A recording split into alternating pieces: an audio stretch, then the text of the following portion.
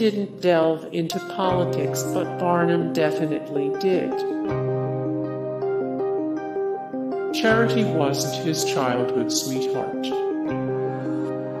What the film portrays, the central relationship in the film is Barnum's romance with his wife, Charity. According to the film, the two developed feelings for one another in childhood, and gaining Charity's hand in marriage was an early source of motivation for the penniless young dreamer. What really happened, Barnum and Charity Hallett didn't meet until after his father had died, which means the couple didn't have a shared childhood. Instead, the teenage Barnum and Hallett seem to have met randomly and somewhat romantically in Bethel, Connecticut, during a storm. Barnum decided to marry her a few years later because, in his own words, she continued to stand highest in my estimation and to improve upon acquaintance. Film loved bar scenes, even though Barnum came to hate demon liquor. The film loved bar scenes, even though Barnum came to hate demon liquor. Jenny Lind did end her American tour early, but not for the reasons the film cited. Jenny Lind did end her American tour early, but not for the reasons the film cited. The film completely erased the fact that Barnum's business was racist. The film completely erased the fact that Barnum's business was racist. Sorry, but Zac Efron's character never existed, and neither did Zendaya's. What the film portrays, one of the most sympathetic love stories in the film is the interracial romance between Zac Efron's character Philip Carlyle and Zendaya's Anne Wheeler, a trapeze artist. Carlyle, a white man who grew up in New York high society, is initially ashamed of his feelings for Wheeler, a black performer in Barnum's show, especially since the racist world seems to be against them. What actually happened? Yes, it's a compelling love story, but it's also 100% fictional. Neither Carlyle nor Wheeler actually existed. Instead of confronting the actual racism that ran through Barnum's entertainment ventures, the film concocted a sympathetic love story that made Barnum appear more tolerant than he actually was. Barnum's orphan origin story just wasn't true. What the film portrays, the beginning of the film tells Barnum's supposed origin story. His father is a tailor who dies when Barnum is still a child, and there is no mother in sight. After his father's death, the young Barnum seems to live in poverty and even steals food to survive. What really happened, his father was indeed a tailor who died when Barnum was young. But Barnum was 15 when it happened old enough in the 19th century to make his own way, and that's just what he did. Though he lost his father in 1825, Barnum didn't lose his whole family, and he worked to generate an income for his mother and five siblings. In fact, he wouldn't be orphaned until his mother died at the ripe old age of 83 in 1868. It was Barnum's family, not his wife's, that opposed his marriage to Charity Hallett. What the film portrays, the whole world seems to be against P. Barnum, even his in laws. His wife Charity is a privileged, angelic young woman from a ridiculously wealthy family who lives in a mansion by the sea.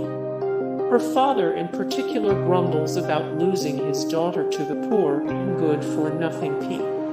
Barnum. Becoming a successful showman is Barnum's way of sticking it to the man and proving his father in law wrong. What really happened, Charity wasn't the rich girl that the film makes her out to be. She was actually a tailor's when Barnum first met her.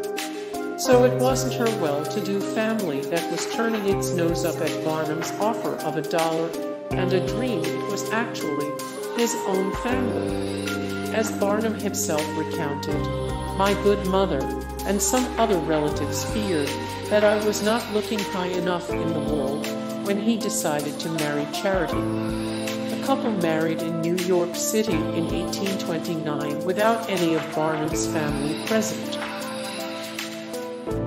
The Bearded Lady's story was a whole lot sadder than what the film showed. What the film portrays, one of the most moving, commanding characters in the film is Letty Lutz, known as the Bearded Lady. When Barnum is on the hunt for unique acts, people, and curiosities to bring to his American museum, he first hears Lutz's singing voice and follows it to a laundry room, where he finds an adult woman with a beard. Though she is reluctant to join Barnum's show, he manages to convince her. She is one of many so-called freaks in the film, whose outsider status is marked on their bodies. What really happened, Letty Lutz never existed. Barnum's famous bearded lady was actually a woman by the name of Annie Jones. Barnum didn't find her in a laundry room, either. She attracted attention when she was born covered in hair in Virginia, 1865. He actually started exhibiting her when she was only one year old. Though Barnum paid her parents a week for the privilege, the young Jones did not get a say in how her body was displayed. She spent much of her life as an attraction and died when she was only 37 in 1902. Jenny Lind was a lot more than arm candy for P. Barnum what the film portrays, P. Barnum first meets the singer Jenny Lind in London, and he is immediately taken with her. He builds a professional relationship with her that comes dangerously close to being intimate, especially after Lind declares her feelings for him. What really happened, Jenny Lind, the so-called Swedish Nightingale, was the Adele of her age. Yet, the film reduces her to a symbol of decadence and beauty that threatens to seduce Barnum away from his principles, his family, and his performers. In reality, she had a successful career. While she did apparently break the heart of several significant men of the 19th century, including Hans Christian Andersen and Felix Mendelssohn P. Barnum was definitely not one of them. Her goals for her American tour were strictly philanthropic. She was raising money for a school in Sweden, and she didn't particularly like Barnum. She married German pianist Otto Goldschmidt in 1852. The film forgot to mention the time Barnum bought an elderly slave and put her on display what the film portrays when Barnum strikes on the idea of starting a museum with living curiosities I. People with unique features or disabilities, he holds open auditions to round out his cast list. He also tracks down a handful of star performers, like the Bearded Lady and General Tom Thumb. What really happened, P. Barnum owed his first success in show business to a slave woman whom he leased in 1835. When he was 25 years old, slavery was technically illegal in northern states at this time. Joyce Heth was an elderly woman, and he promoted her as George Washington's 161 year old mammy. He brought the old woman on tour, even though she was unwell, had difficulty moving, and was completely blind.